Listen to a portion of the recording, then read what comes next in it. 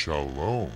Wow! It's a dinosaur! There's a dinosaur knocking at my door.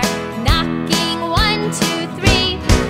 Oh, there's a dinosaur knocking at my door. And he's come to have Shabbat with me.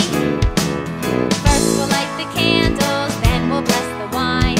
Then we'll bless the challah and we'll all have dinner together.